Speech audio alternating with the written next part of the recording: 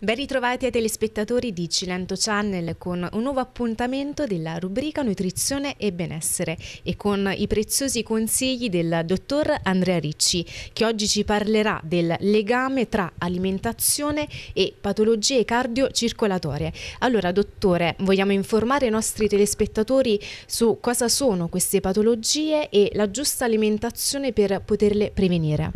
Sì, allora il, mm, diciamo, il rapporto tra alimentazione e, pat patologie cardiocircolatorie, quindi parliamo della pressione alta, di tutti i problemi cardiaci in generale, è sempre stato sottolineato ovviamente dai medici e nutrizionisti. Questo perché eh, c'è anche una, un grosso aumento delle patologie cardiocircolatorie che diventano anche una delle prime cause di morte. Questo perché sono anche molti eh, i fattori di rischio, quindi andiamo dall'età, dal sesso, il fumo, il sovrappeso, l'obesità, la scarsa attività fisica ovviamente i livelli di colesterolo, di trigliceridi alti, il diabete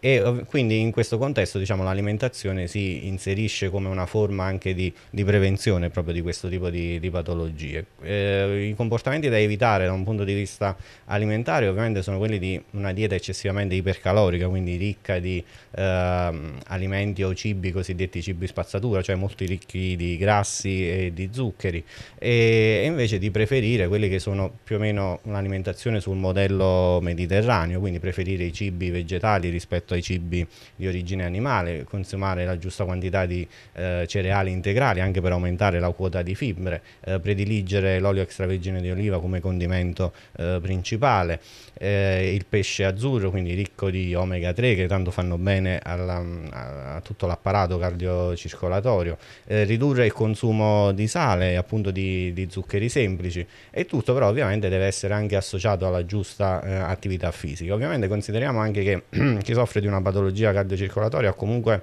necessità, oltre alla terapia farmacologica messa in atto dal medico, dal cardiologo, eh, di seguire questa terapia, eh, quindi sia farmacologica ma anche alimentare, per un tempo molto lungo, eh, diciamo indeterminato, e quindi c'è necessità anche di stabilire appunto con il nutrizionista un piano alimentare che sia proprio mirato a prevenire quelli che sono i fattori di rischio più strettamente alimentari, come per esempio possono essere la glicemia, il colesterolo, il trigliceride, che però deve prevedere anche ogni tanto un qualche evasione, eh, giusto perché essendo su un periodo appunto molto lungo, fare semplicemente o dire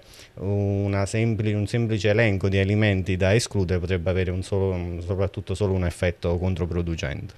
Quali sono i cibi più sconsigliati, quindi che risultano nocivi per questo tipo di patologie? Sì, andiamo da un consumo eccessivo di carne rossa, per esempio gli insaccati, i salumi, i formaggi molto stagionati, un consumo, come dicevamo prima, molto elevato per esempio di sale, ma anche l'alcol e tutti i cibi con un alto indice glicemico, quindi tutti mm, i carboidrati molto raffinati, gli zuccheri semplici. Ecco, sono tutte queste cose che andrebbero in un'alimentazione eh, diciamo salutare, sono tutte norme che andrebbero seguite seguito da tutti, a maggior ragione per chi ha magari anche una familiarità per delle patologie cardiovascolari e che quindi deve prestare maggiore attenzione appunto al colesterolo, ai trigliceridi, alla glicemia in generale. Quindi insieme all'alimentazione è consigliabile comunque abbinare un'attività uh, fisica? Sì, questo sempre, che può, può andare diciamo, da una semplice camminata, passeggiata mh, mm, con una buona frequenza settimanale, eh, ma anche appunto uno stile di vita più sano, quindi evitare magari di prendere la macchina per fare dei piccoli spostamenti, ma in generale quindi avere